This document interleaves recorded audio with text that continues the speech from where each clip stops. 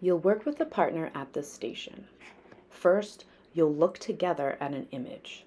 Talk and listen to each other about what you see and what you think about.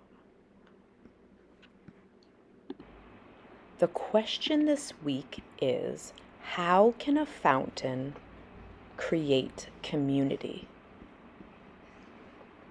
I'll say it again.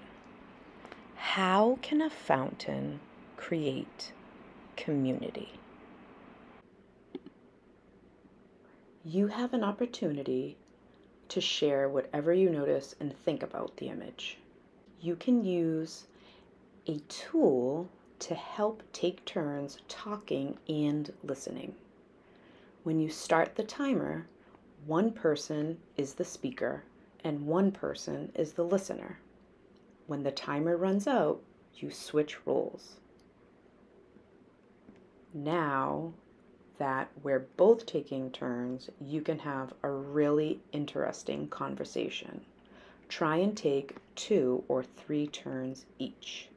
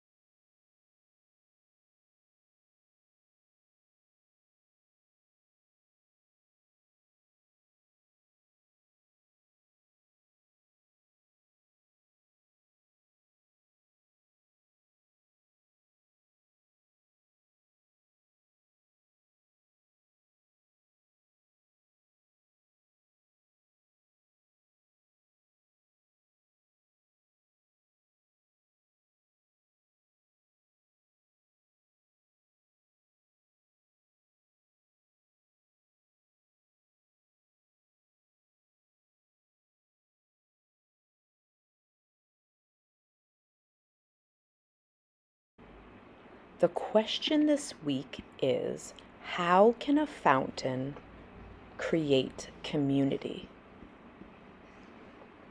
I'll say it again. How can a fountain create community?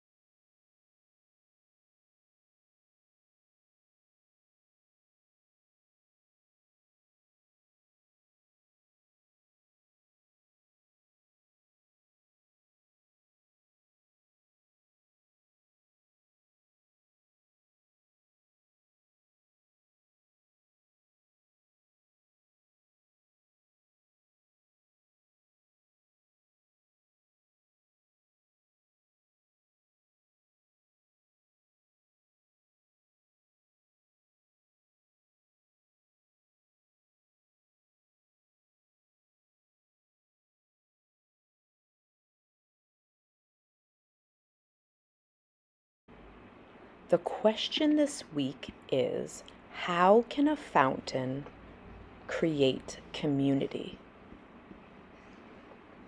I'll say it again. How can a fountain create community?